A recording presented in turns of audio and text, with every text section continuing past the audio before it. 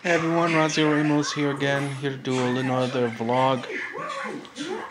And I, I can't believe they're doing this. Susan Wojcicki, you're a fucking moron. I could clearly see that you want to favor the big YouTubers and screw over the small YouTubers. If you don't know what's going on, Logan Paul is now making money again on YouTube.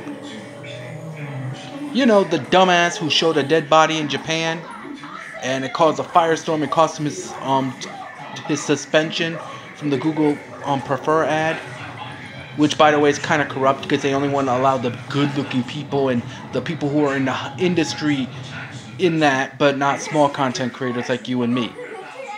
But this isn't jealousy. This is just me getting angry because of the fact that Susan Wojcicki is going will go on record to say, well, he didn't violate anything. He didn't copyright. He didn't show anything offensive. He showed a fucking dead body and started laughing at it. I don't know. I don't know what's offensive to you, but apparently that is offensive, especially when you're talking about suicide, you dumb bitch. So basically, he's making money out of, of monetization, but he's still suspended and he still has the probation period.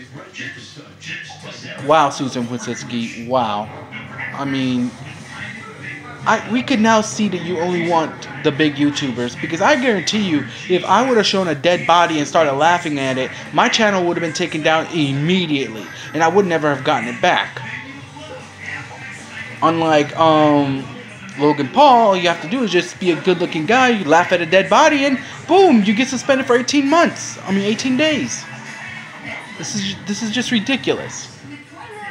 I mean, is YouTube really gone to the shitter this badly that we're only allowing um that we're going to allow this shit to happen? He showed a dead body, a fucking dead body.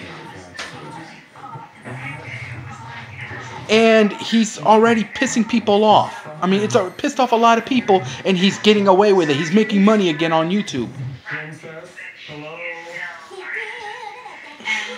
Fuck you, Susan Wojcicki, and fuck you, Logan Paul, for getting away with with murder. Basically, you're getting away with murder. You're still in the suspension area. You're still not in the trending area, but you're still making money. That's the worst thing. I guess you just don't have to try anymore. You just have to be a good looking person and show a dead fucking body. And again, going back to what I said before, out of the words of Woken Matt Hardy, everyone on social media has to say one thing to you. We sentence you to deletion. Fuck you.